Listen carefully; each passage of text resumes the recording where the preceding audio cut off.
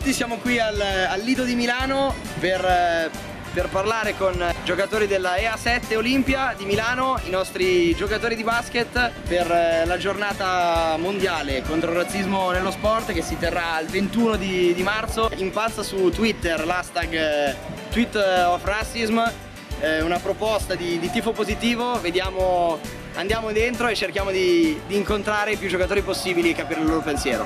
You have ever met um, moment of discrimination during your career?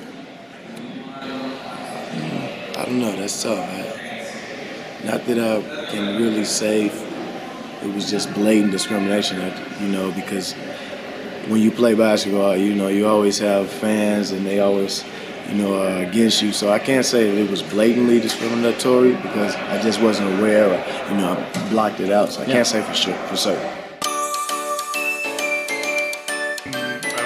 Bellissimo progetto perché comunque a parte il fatto che si vedono un sacco di, di ragazzi giovani che vengono con entusiasmo al palazzetto e riempiono costantemente la, la curva dietro il canestro degli ospiti, è bello perché comunque c'è un un messaggio profondo che dovrebbe far riflettere non solo i, i piccoli ma anche diciamo, i genitori dei piccoli. Ecco.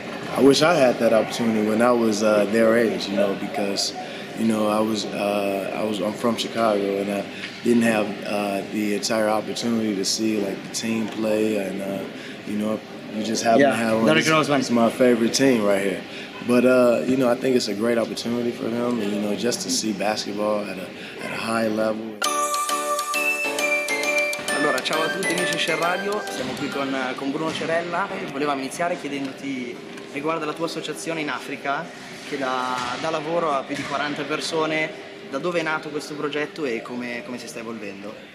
Sì, io ho iniziato questo progetto dopo aver finito di leggere un libro che mi ha spinto a fare qualcosa di benefico, un modo di ringraziare lo sport, ciò che lo sport ha dato a me nella vita eh, ho scelto il Kenya perché è un posto dove innanzitutto si parla inglese. Noi ogni, ogni estate, ma soprattutto adesso che stiamo costruendo il nostro campo, eh, non, non, solo eh, diamo lavoro a delle persone che lavorano per noi in Africa, ma anche coinvolgiamo tantissimi ragazzi nell'attività sportiva dove loro praticamente non avendo strutture o, o, club dove praticare lo sport non hanno la possibilità. Noi, noi coinvolgiamo praticamente 400 ragazzi di 15 scuole diverse ogni anno nostre, nei nostri camp e adesso il sogno è fondare la nostra Basketball Academy. State facendo un gran campionato, una grandissima Eurolega, grande partita giovedì al Pireo, obiettivo un po' nascosto di Final Four.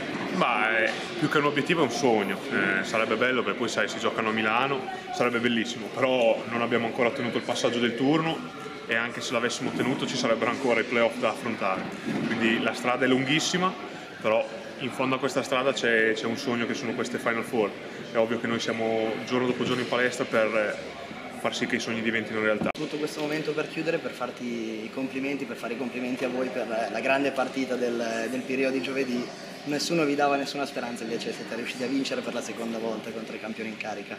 Ma anche quando nessuno, ti, quando nessuno ci crede, l'importante è che la squadra ci crede, infatti noi ci abbiamo creduto, ci siamo, abbiamo fatto la nostra partita, abbiamo portato un risultato positivo a casa, quindi anche noi siamo molto felici, ti ringrazio di, di, delle tue parole. Il campionato è l'obiettivo, l'obiettivo primario, siamo partiti un po' così così a inizio, Adesso siamo a 11 vittorie a fila, che non, non, sono un risultato scontato per nessuna squadra, a maggior ragione per noi, che comunque è vero, siamo la squadra magari che ha investito più soldi, che ha i giocatori con il nome più, più blasonato, tutto quello che volete, però alla fine si va in campo e bisogna dimostrarlo questo.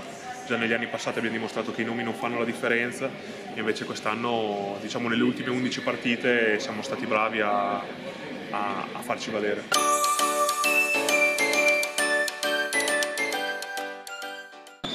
Make sure you tune in to Share Radio, the best.